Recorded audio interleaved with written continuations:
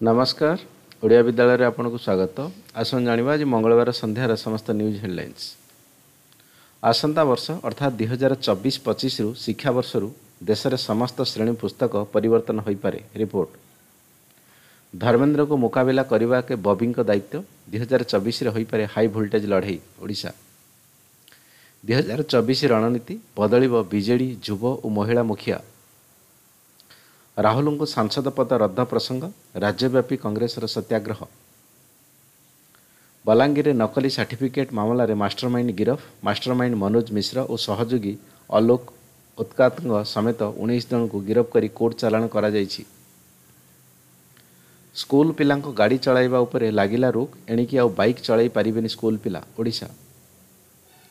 ମଦ ଦୋକାନୀଙ୍କ ଉପରେ ନଅଶହ ବାସ୍ତରୀ ଦଶମିକ ଦୁଇ ଦୁଇ କୋଟିର ବୁଝ ସାତ ଦିନରେ ମଦ ଉଠାଇବାକୁ ତାଗିଦ ନଚେତ୍ ହେବନି ଲାଇସେନ୍ସ ନବୀକରଣ ଓଡ଼ିଶା। ଦେଶରେ ଆରମ୍ଭ ହେଲା ପ୍ରଥମ କ୍ୱାଣ୍ଟମ୍ କମ୍ପ୍ୟୁଟିଂ ଆଧାରିତ ଟେଲିକମ୍ ନେଟୱାର୍କ ଲିଙ୍କ ହ୍ୟାକ୍ କଲେ ମିଳିବ ଦଶ ଲକ୍ଷ ଟଙ୍କା ପୁରସ୍କାର। ଏଗାରଟି ଭାଷାର ମୋଦି ହଟାଓ ଦେଶ ବଞ୍ଚାଓ ପୋଷ୍ଟର ପ୍ରକାଶ କଲା ଆମ୍ ଆଦମୀ ପାର୍ଟି। ସରକାରୀ ବାସଭବନ ଛାଡ଼ିବେ ରାହୁଲ କହିଲେ ଏହି ଘର ସହ ମୋର ଅନେକ ମଧୁର ସ୍ମୃତି ଜଡ଼ିତ। କଂଗ୍ରେସର ବିରୋଧକୁ ନେଇ କେନ୍ଦ୍ରମନ୍ତ୍ରୀ ଇରାନୀଙ୍କ ପ୍ରଶ୍ନ ରବର୍ଟ ଭଦ୍ରା କାହିଁକି ଆଦାନୀଙ୍କ ହାତ ଧରିଥିଲେ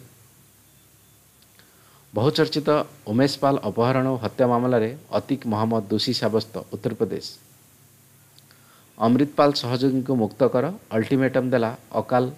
ତଖତ ବଢ଼ିଲା ଇପିଏଫ୍ଓ ସୁଧ ହାର ଆଠ ଦଶମିକ ଏକ ପାଞ୍ଚ ପ୍ରତିଶତ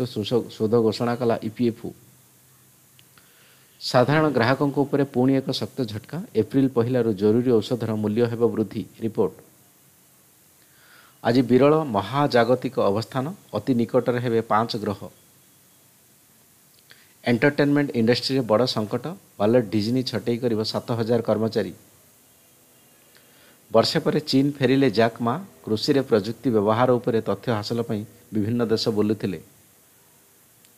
ପୁଣି ଆମେରିକା ସ୍କୁଲରେ ଗୁଳିକାଣ୍ଡ ତିନି ଶିଶୁଙ୍କ ସମେତ ଛଅ ମୃତ୍ୟୁ